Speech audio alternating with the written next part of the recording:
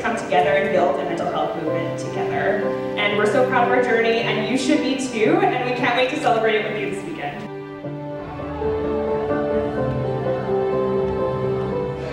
Love you all.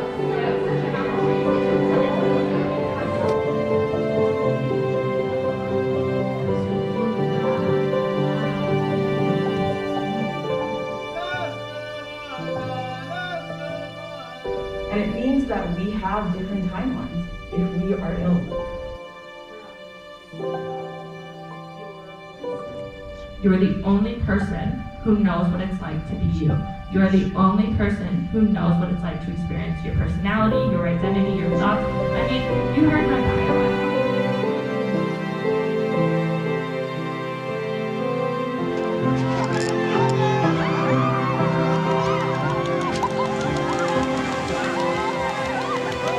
quite the journey discovering how how much therapy and counseling is and support and community around mental health and having open conversations about it is um, so vital and so important.